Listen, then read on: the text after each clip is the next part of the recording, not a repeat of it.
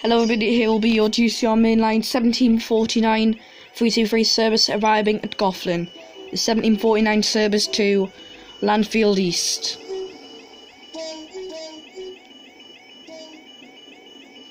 I currently do not know the numbers, but, but this is a video of arriving and departing, so I'll find out when it departs.